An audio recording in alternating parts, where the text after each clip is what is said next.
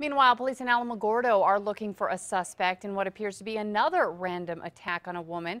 The woman told police the man came up behind her at her front door, hit her, and pushed her inside where he sexually assaulted her. She was able to get a partial description. She says he's between 19 and 25 years old, about 5 foot 9, medium build. He was wearing a black hoodie and jeans at the time.